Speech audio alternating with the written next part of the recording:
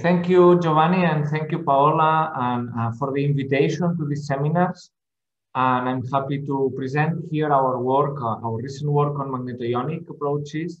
My name is Jordi Sort. I work at the Autonomous uh, uh, University of Barcelona in the physics department. And actually what I'm going to present is a collaboration, it's a few, the results of a few papers in collaboration with, between different groups, the Catalan Institute of Nanotechnology, the University of Tennessee, um, Dresden, um, Centrum, SpinTec, and the National Center of Microelectronics, Bristol University, and so on. And here I lead the, the, the main collaborators. So the introduction of my presentation will include so maybe, maybe we have to participation in magnetic actuation. I will talk a little bit about the different mechanisms that can govern the converse magnetoelectric effects. Then I will explain what is magnetoionics.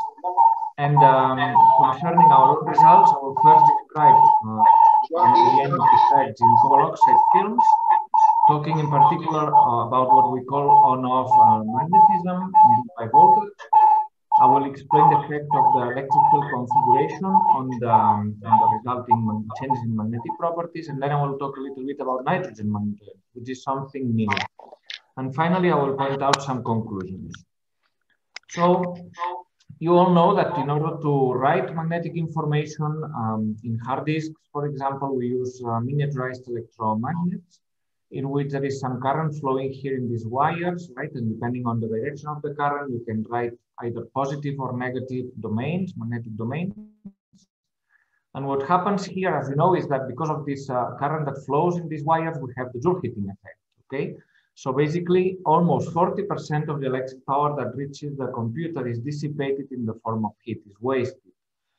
Uh, and this is because the Joule effect is proportional to the square of the intensity.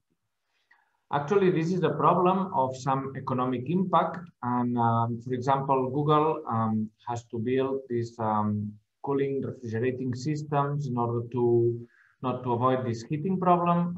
Microsoft, for example, brought the data centers underwater, in, under the ocean, or Facebook has some of their servers in cold countries like Sweden in order to take advantage of the cold weather there. Um, what can we do in the laboratory in order to minimize this problem. So what we can try to do is in, in, instead of controlling the, the, magnetization with the magnetic fields, what we can try to think of is like uh, controlling the magnetism with voltage. So imagine that uh, you have a capacitor and one of the, um, of the plates is magnetic so that we apply a voltage and uh, ideally what we would like to do is to switch the orientation of the magnetization with the voltage without having to use current so that we don't have the Joule heating effect. But to what extent is possible to control magnetism with voltage?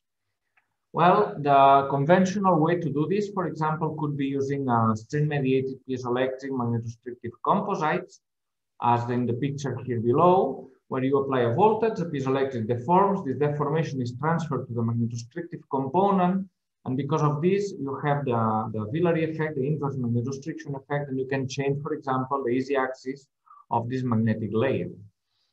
However, if you do this onto a rigid substrate, you will have the problem of clamping so that the piezoelectric will not be able to deform if it's just grown on something rigid, right?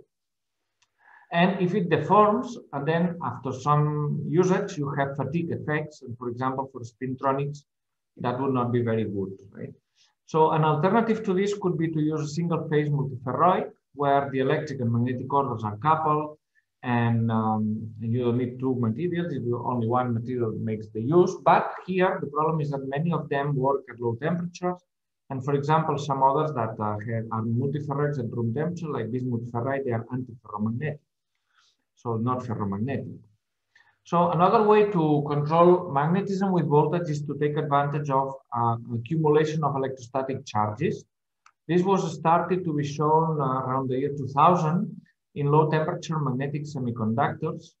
Um, and then in 2007, it was shown for the first time in metallic ultra-thin films, nanoparticles later, where basically what you can do is to um, induce, to generate an electric field in these uh, materials. And this electric field uh, modifies the electronic band structure of these uh, materials. And then because of this, you have change in the magnetic anisotropy energy. However, the problem is that in metals, the penetration of electric field is uh, very much uh, at the surface. It's, uh, the electric field is screened in the so-called Thomas, Thomas Fermi length, which is only 0.5 nanometer. So really you need to work in, in very, very thin metallic layers. And this was actually done in the seminal work by the group of Professor Givord in 2007, in which they immersed a very thin layer of iron platinum or iron palladium in propylene carbonate with some solvated ions there in solution. And by applying uh, voltage, they could change the coercivity. So here you see part of the loop zoom around the coercivity. The change seems here very large, but in fact it was only 4.5%. So it was very much limited effect. And the explanation later was it was demonstrated that uh, when you apply voltage to, to, for example, an iron monolayer or a cobalt monolayer, you can change the magnetocrystalline anisotropy energy. And it is because of this that the coercivity changes. Um, another approach is to use magnetoionics. Magnetoionics is a term that typically was used for centuries, um, uh, for a long time to explain the interaction between uh, magnetic field and, and, uh, and, ions in the atmosphere and, and, the effect on the propagation of electromagnetic waves. But this term is also coined since the last few years to, to explain the influence of voltage on the, on the diffusion of ions in some material and causing, uh, this causes some magnetic effects. So actually, these effects can be non-volatile. They, they can induce some permanent changes in the magnetization. But the drawback is that usually this is relatively slow and there are problems uh, of uh, cyclability. So it's difficult to make the effect fully reversible many times. So you have some problems of endurance. Nevertheless, there are various ways to do this. So for example, you can imagine of uh, immersing um, a metal like iron, for example, in an aqueous electrolyte, and then you would have some surface redox reaction. And because of, the, of this oxidation, you may have changes in the magnetic properties of this material. Or you could use a solid electrolyte like gadolinium oxide or hafnium. Uh, and then these are conducting conductors of uh, oxygen ions and when you apply the voltage, you can exchange this oxygen between these materials and the magnetic uh, metal of interest. And this also, of course, changes the magnetization, the coercivity, and so on. Or you can think of another alternative, like, for example, having an iron oxide like hematite and or magnetite, and then introduce, intercalate some lithium ions no, from using uh, an approach similar to the lithium batteries. And because of this ion intercalation, you will modify the properties of this oxide. So in magnetoionics, which uh, refers to the modulation of the oxidation state by voltage-induced ion motion, can be oxygen, but it can be also lithium or other ions like hydrogen, fluor, or nitrogen. Uh, the idea is to use either a solid or a liquid electrolyte.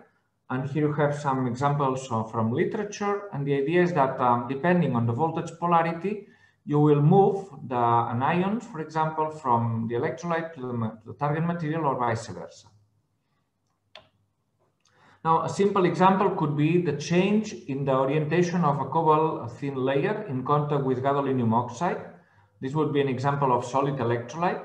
And for example, if you form by, by oxidation or by migration of oxygen when you apply a negative voltage, if you induce um, an oxidation of cobalt at the interface between cobalt and gadolinium oxide, because of this oxidation, you can have a reorientation of the easy axis between in plane and out of plane. And this has been shown in the last years here in, in these papers. If we go to liquid electrolyte, we have some advantages of the liquid configuration. One of them is that you don't have pinholes. So when you use um, the solid electrolyte, sometimes, you, well, frequently you, you observe pinholes and then the, electron, the electrons flow and you don't accumulate the, the charges, okay? With uh, a liquid dielectric, uh, you are able to, to avoid this problem. And moreover, if your material is not just a film, but a porous structure, this liquid can penetrate the porous structure and you can accumulate charges at the, at the surface of the pore walls, and then you can have a large effect. Moreover, uh, what happens here in these liquids is that there are some ions in solution, and these ions form what is called the electric double layer. So they accumulate. For example, if we apply here the negative uh, voltage, and for example, it can be some sodium that goes here and forms this electric double layer, which is extremely thin, is less than one nanometer. And this means that with a moderate voltage, you can get a high, a very high electric field because the electric field is the voltage divided by the thickness of the, the electric uh, layer. Um, more recently, the last two years, well, even a little bit before, but uh, it has been shown that um, besides oxygen, you can move, for example, hydrogen or protons, hydrogen ions or protons, and gives faster um, and very strong effects compared to the oxygen migration. So in the upper um, part of the slide here, you can see that, um, well, actually that was by the group of George Beach. they were trying to, you, to do exactly what I said before, no, the cobalt with gadolinium oxide, and they noticed that if you do this experiment um, in, uh, in the presence of humidity, the effects are much larger, and they attributed this to the hydrolysis of water at the, at the surface of this gold, and then the hydrogen moves downwards towards the um, cobalt oxide and you form metallic cobalt, and then you can change the orientation from easy axis to hard axis, and it's uh, uh, it was ascribed to hydrogen mobility instead of oxygen mobility. Because of this is a very fast um, cyclability because hydrogen is a very small atom and you can cycle many, many times, like uh, 10 to the 3, 2000 times, as you can see here. Another uh, work, this was in solid, although there was the humidity, but another work, for example, has been published this year by the group of Robert Kruk, in which basically they immerse uh, samarium cobalt in an aqueous electrolyte and this hydrogen, uh, in this case, goes to the grain boundaries of, of this samarium cobalt, and it can allow a huge tailoring of the coercivity of samarium cobalt by more than one Tesla, as you can see here. So the S grown is the black curve, and then uh, when you apply this minus 1.2, you reduce a lot the coercivity, and you can recover, not completely, but almost, by applying this minus 0.4 volt. Uh, what we have done in our group uh, in the last few years is uh, what we call this on-off magnetic transition. And for example, we just started, well, we first studied metallic porous layers and we saw that sometimes when there was oxides, the effect was, was larger. So then we just went directly to the cobalt oxide, which is paramagnetic at room temperature. It has this spinel structure that I show here. And then by applying a negative voltage, we could see that you transform this paramagnetic state to ferromagnetic state, and we ascribe this to the generation of the uh, oxygen vacancies. So you have locally some exchange coupling between cobalt atoms, and this generates some ferromagnetism. Moreover, this could be reversed by applying a positive voltage. So this is an off-on transition, similar to switching on or switching off the light of a lamp with the voltage, right? So here we do the same with a magnetic material. So here in this uh, slide, what you can see is the typical HRD of this material. It has this uh, morphology from the top, and in the cross section, you can see that it grows columnar, like uh, as, you, as I show. The thickness of the layer cobalt oxide is about 100 nanometers, and initially, as expected, is it is paramagnetic at room temperature. And then, if we apply minus 10 volt for one hour, we can see that you generate a ferromagnetic response. So we go from uh, an off state, the black curve, to uh, an on state, the green curve. And then by applying positive plus 20 volt for two hours, then you are able to recover the initially off state. So this is very slow, but it shows the concept of switching on and switching off magnetism with voltage in a very simple material, cobalt oxide. Now you can tune the amount of magnetization by increasing the time, keeping the voltage at uh, minus 10 volt, for example, you can see here on the left. And on the right, you can see that uh, keeping the time constant, you can get further magnetization, further saturation magnetization by changing the, the voltage. Actually, the maximum we got, for example, at minus 50 volt for one hour is equivalent to six nanometer thick cobalt layer. So basically we oxidized, uh, we reduced 6% of this cobalt oxide towards metallic cobalt. Um, in order to confirm this, we performed some structural characterization of the samples. First thing we did is XPS. And here you can see that the as prepared material at zero volt is basically cobalt 304 with some residues of cobalt monoxide. And after applying minus 10 volt for one hour, we see that this peak here, this broad peak becomes even broader, and this can be ascribed to the formation of a little bit of metallic cobalt. If we apply the positive voltage for two hours, then this peak, uh, this broad peak becomes narrower again. This cobalt contribution disappears. And if we apply a very large negative voltage for half an hour, for example, then you see that uh, there is a split of this peak. And this is because we have a lot of metallic cobalt being formed. By high resolution TM, we could have some evidence of uh, formation of cobalt, although that was hard, I have to admit. The starting material was basically cobalt 304. Uh, after treating uh, with minus 200 volt for half an hour, we could see some spots which match the position of hexagonal cobalt and did not match uh, any of the two cobalt oxides. And then by doing the reverse Fourier transform, we could even identify where this uh, cobalt grain was located. So locally, it's possible to see these uh, cobalt grains um, that form. Also by energy filtered uh, TM, you can see that in the starting material is an homogeneous mixture of uh, cobalt and oxygen. After applying minus 200 volt, you see more blue color, so more metallic cobalt. And in some regions, you can see some oxygen-rich uh, channels, uh, like here, which are even more evident if you use EELS. No, here on the in the upper um, images, you can you can see that the, the as prepared material is uh, homogeneous in color. So you it's uh, the composition is, is cobalt 304 more or less. And then uh, after applying minus 200 volt for 30 minutes, you can see some regions that are enriched in cobalt and some regions that are enriched in oxygen. So typically we have like the formation of uh, channels which may indicate that there is diffusion of oxygen preferentially along the, these columnar grain boundaries. Then we perform, uh, we send samples to collaborators uh, uh in Rossendorf near Dresden to do positron annihilation lifetime spectroscopy. And these are, this technique is a bit uh, complicated. I don't want to enter into the details, but it gives you information about what kind of vacancies and defects you have in your sample. So basically, it probes the time that positrons, so you irradiate the samples with positrons, and it takes, uh, it um, estimates the time, depending on the energy, the time that takes for the positrons to be annihilated, and depending on this of the, on this time, you can have vacancies inside the grains or at the grain boundaries, or even have like uh, large voids. This, by the way, we didn't observe. Huh? Basically, from our experiments, we had vacancies in the clusters, uh, so vacancy clusters inside the grains or at the grain boundaries. Now, if you look into detail here, the as prepared material has very low um, annihilation time. And when we increase, we apply the negative 200 volt, you can see that the annihilation time increases. So we have larger vacancies. And then after applying a positive uh, voltage, uh, you recover a little bit, uh, you decrease again the annihilation time. To see the time of vacancies that uh, were generated, our collaborators did some calculations using this atomic superposition method.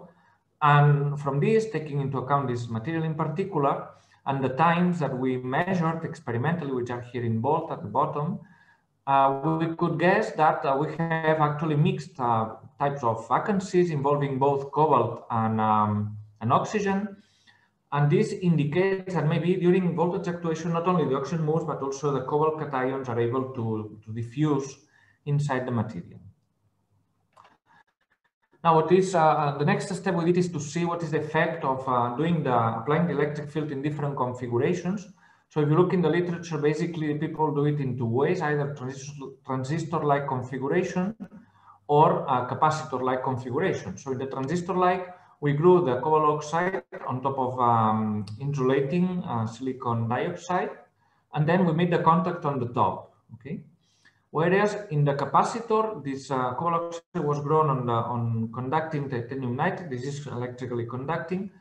And um, we have a capacitor configuration. And what you can see here is that the effects are larger in the capacitor configuration than in the transistor configuration. So the amount of magnetism is larger.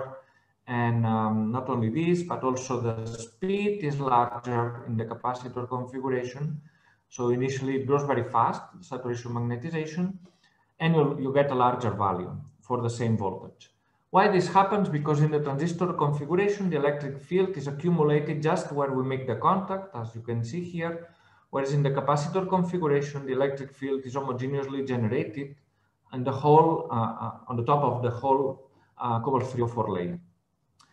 Uh, another thing that uh, is different is that in the transistor-like configuration, you need to apply at least minus 10 volt to induce the effect whereas for the capacitor configuration, only minus 4 volt is enough. You can see an even larger increase of the magnetization. In both cases, it's interesting, we can cycle the effect many times. I have to say this, this black curve is shifted here for clarity, but it's between 0 and plus 2. I shifted uh, vertically just for clarity. And we can induce this off-on, off-on transition many times. Um, we try to do it uh, about 100 times. And uh, this works in both uh, types of configuration, transistor and capacitor. Now, maybe what is more interesting here is to, to explain that uh, besides doing it with uh, cobalt oxide, we can also do magnetoionics using cobalt nitride. Cobalt nitride is uh, also grows like a cubic structure. The uh, ionic radius of uh, nitrogen ions is larger than a bit larger than the oxygen ion, so one might think that um, the effect will be slower for nitrogen. However, the, um, the electronegativity between nickel, uh, sorry, between nitrogen and cobalt is, is lower than between uh, oxygen and cobalt. And the cohesion, cohesion energy of cobalt nitride is lower than the cohesion energy of uh, cobalt oxide. So basically the cobalt nitrogen bonds are weaker than the cobalt oxide bonds. So there is maybe an interplay of effects. So we want to see what happens if we try to do the same thing we did for cobalt oxide, we now do for cobalt nitride. What you can see here is that, um, well, the black curve is the Asprey pair layer. This is also paramagnetic.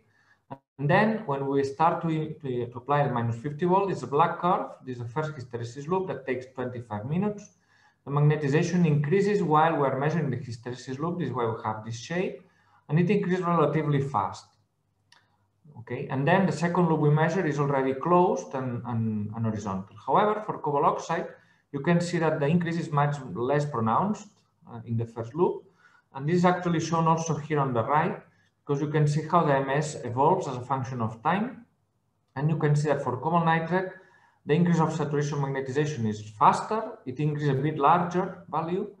And also interesting is that the onset for cobalt oxide was minus 6 volt, for cobalt nitrate is a bit lower, minus 4 volt. So um, this works uh, well and it works a bit better than uh, for cobalt oxide. And we can do also this off-on transition that I showed with, this is for cobalt nitride, as you can see here. And there is a difference in the way that um, the diffusion takes place. In cobalt oxide, I showed that there are, it's a bit inhomogeneous and you form like uh, some channels, vertical channels uh, of regions which are enriched in cobalt. For the cobalt nitride, um, instead, you have a planar front which propagates parallel to the surface and uh, the nitrogen, you form like a bilayer. So you start with cobalt nitride and then you form a, a very cobalt rich uh, layer. And then you have a cobalt depleted uh, layer on the top, right? So you have a planar front, which we think it can be interesting um, to control better, no, in a, in a layer, layered system, these magnetoionic uh, profiles. So in conclusion, I've shown you that uh, you can induce on-off ferromagnetism, using both oxygen and nitrogen magnetoionics that the effect is stable, tunable, and reversible. It is important the way you apply the electric field to, to determine the speed of the, the yeah, the, the, rate of the, um, of the ion migration and also the generated magnetization. The capacitor configuration works better. Interestingly, nitrogen transport seems to be more um, like planar front instead of inhomogeneous or grain boundary mediated uh, diffusion of ions. It shows the nitrogen magnetoionics a bit lower onset voltages. And nitrogen magnetoionics, we believe it's interesting also to integrate this uh, effect with other nitrides that are commonly used in, magnet in microelectronics. So with this, I would like to thank you very much for your kind attention.